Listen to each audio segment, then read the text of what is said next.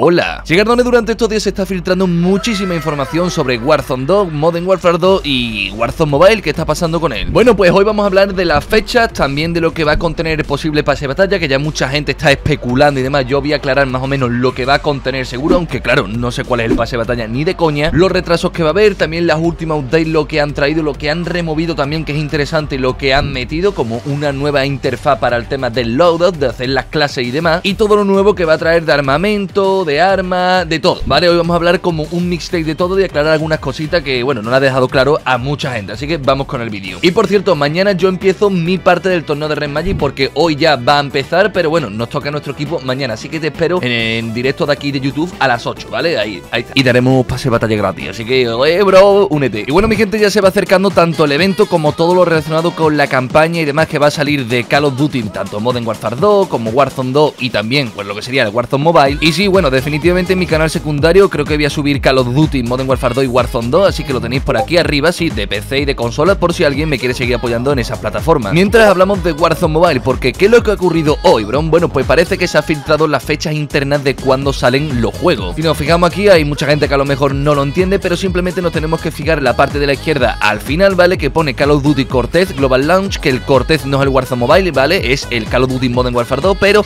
le ponen nombres en clave como el proyecto Aurora, que le han puesto a, Warzone Mobile. Muy interesante también el lanzamiento global de Warzone 2, que va a ser el 16 de noviembre, unas tres semanas después del lanzamiento de Modern Warfare 2, pero sin embargo, si nos fijamos, no aparece nada de Warzone Mobile. Bronze ha retrasado el juego, Bronze aparecerá en 2023. Bueno, aquí hay tres posibilidades. Uno, que simplemente nos callemos la boca y esperemos el 15 de septiembre a ver si en el, bueno, en el War Reveal, en el trailer y todo, nos dicen la fecha final del juego. Como segunda probabilidad, que sí, que salga definitivamente en 2023, cosa que, bueno, porque no aparece aquí. Pero la tercera probabilidad creo que va a salir definitivamente este año, debido a que quieren sacar como todo el pack conjunto de Modern Warfare 2, Warzone 2 y Warzone Mobile. Ahora bien, ¿por qué no sale el juego ahí en ese registro y demás? Bueno, simplemente sea porque ahora mismo no tienen una fecha determinada y todavía queda un mes para el evento a lo mejor ya la ponen, ya que queráis o no, el testeo de los juegos móviles es muy diferente como lo hacen las empresas y es algo ya que estamos acostumbrados con las alfa, las beta y demás. Y si os fijáis en Call of Duty, Modern Warfare 2 y todos estos juegos de PC y de consola, suele salir como mucho una pequeña beta de unos días y ya está. Por lo tanto, yo creo que es algo normal que no tengan una fecha fija, pero yo creo que lo van a sacar este año 100%. Ya mucha gente está diciendo, bueno, para 2023, para esto no creo. Primero porque no interesa después de 2023, en un enero, un febrero que la gente ha gastado muchísimo dinero las navidades, esto ya es por puro marketing y que bueno, que quieren sacar el pack conjunto de las tres joyitas que van a traer. Así que yo lo que recomiendo que como de momento no hay información, que esperemos al 15 de septiembre o algún día cerca que ya sepamos información eh, verificada, ¿no? Pero bueno, ya está, ¿vale? No nos inventamos nada y simplemente esperamos a las cosas oficiales. Mucha gente también anda especulando y diciendo que lo más seguro es que salga el mismo día que sale Warzone 2, es decir, el 16 de noviembre, pero bueno, yo es que ahí me tengo que callar porque es que no tengo ni idea. Yo sé que sale este año, pero no sé cuándo. Y cambiando de tema, una cosa que quería enseñaros la similitud que van a tener ambos juegos entre Warzone Mobile, Warzone 2, Modern Warfare 2 y demás. Es que fijaros, o sea, están, se nota que está hecho en el mismo motor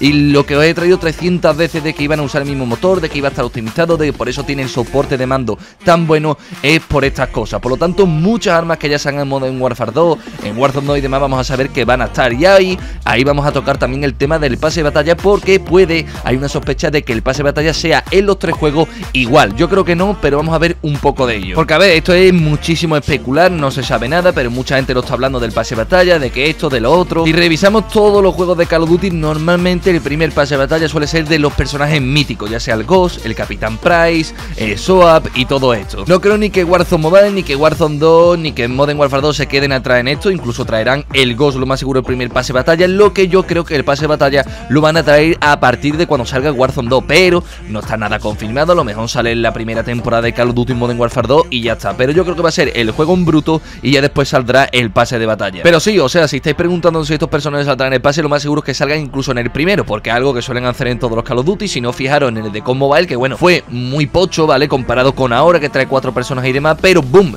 ya traían al Ghost en el primer pase de batalla. Que si Bron, ¿cuántos personajes va a traer? ¿Cuántas armas va a traer? Ni idea, bro, ni idea. Si no hemos visto ni el juego todavía, ¿cómo te voy a hablar del pase de batalla, no? Pero hay mucha gente que lo está discutiendo por Twitter y demás y es como, bro, relax un poquito, que sí, que lo más seguro que salgan estos personajes, pero no ha salido en el juego y ya está pensando en el pase de batalla, es horroroso. Pero bueno, vamos a ir rotando a lo último que ha pasado en Call of Duty Warzone Mobile, el update que por cierto creo que va a ser ya la última parte de la alfa esta, ya empezamos con las beta que yo creo que ya saldrán para septiembre con el tema del evento y todo de Call of Duty Next. Bueno, pues lo que han retocado en esta última versión del alfa ha sido lo siguiente. Han removido la restauración restablecimiento, ¿vale? Es decir, empezar de nuevo del sprint táctico, por lo tanto no se podrá spamear tanto el sprint táctico, pero eso simplemente creo que porque lo estarán retocando. Esto sí no me gusta porque la mecánica de Dolphin Dive o Dolphin Jump, como lo quieran llamar, el salto del delfín, del original de Black Ops, de Black Ops 2 y todos estos juegos, ha sido totalmente eliminado del juego, pero no quiere decir que no lo metan en un futuro, simplemente a lo mejor es que no le aparece a la gente o ya no pueden hacerlo, pero bueno, simplemente estarán haciendo pruebas. Ahora puedes correr mientras apunta hacia abajo como en Modern Warfare 2, eso bueno, habría que verlo explícitamente para que lo veáis bien, pero yo ni sé cómo iría en ese caso. Y en general un gran cambio en la interfaz de usuario y la interfaz del juego. También podemos ver por vídeo filtrado que bueno, pues aparece aquí todo el tema de cómo está avanzando el armero, que ahora evidentemente se ve aquí muy pochito y todo eso, pero irá mejorando. Una vez que elegís un arma, como veis entramos a la sección de Build Weapon, de Progression y de Store, que Progression será pues los XP del arma, y ahí te puedes ir configurando pues todo el sistema de los laudos y demás, pero ahora mismo esto es lo que os he dicho, esto es simplemente un armero de prueba para que la gente pueda probar arma y más o menos cómo va a funcionar, pero ya digo que el armero va a ser totalmente diferente, o sea, si veis este vídeo y cuando ya salga lo miráis, va a decir, hostia, pues sí, ha cambiado bastante. además, fijaros que tampoco hay una cantidad muy grande de armas, algo normal, ¿eh? No os asustéis. Y ahora sí os voy a enseñar una cosita, para que veáis que esto está todo en un proceso de alfa y que no nos tenemos que quedar con ese loadout, que bueno, lo están avanzando. Esta, ¿vale? Es una imagen de cómo va a quedar el lobby de Call of Duty Modern Warfare 2. ¿Es definitiva? Pues claramente no, puede que lo cambien en una semana o dos y que pongan otro lobby, porque Call of Duty es así, pero mucha gente dice que va a ser muy parecida a la de Warzone Mobile, esta lobby. Y bueno, pues sí, podemos creerlo o no, porque al final van a usar el mismo motor y todo lo que ahorren en trabajo es mucho mejor. Y bueno, banda, pues siguen sacando imágenes del estado actual de Warzone, como por ejemplo el rediseño que le han hecho al tema del escudo, que joder,